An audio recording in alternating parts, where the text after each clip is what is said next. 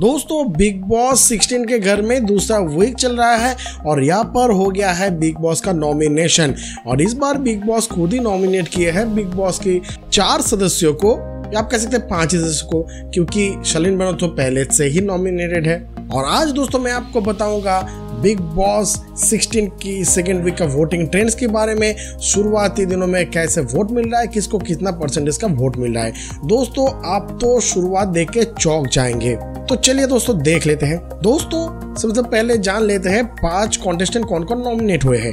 Gori Nagori, Tina Datta M C Stan और सृजिता दे।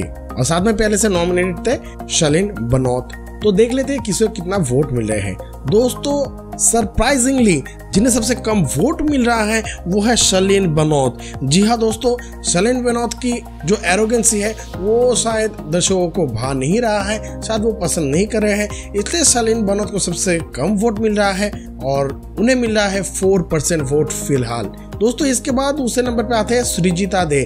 Bengali actress सृजिता दे जो कि इस बार बिग बॉस के गुस्से का शिकार है, उन्हें इस बार फाइव परसेंट वोट मिल रहा है, जो कि बहुत कम है। इसके बाद सरप्राइजिंग और भी बाकी है, क्योंकि तीसरे नंबर पे है टीना दत्ता। जी हाँ दोस्तों, टीना दत्ता को 9 परसेंट वोट यानी 9 प्रतिशत वोट मिल रहा है इस बार बिग बॉस में। सेकेंड वीक का जो वोटिंग है उसमें। इसके बाद चौथे नंबर पे है गोरी नगोरी। दोस्तों, पहला जो हफ़्ते का वोटिंग हुआ था, वहाँ पर गोरी नगोरी सबसे कम वोट मिलने वाले कॉन्टेस्टेंट थे। हालाँकि उन्हें बचा लिया गया था बिग बॉस द्वारा बीच में टास्क के दौरान।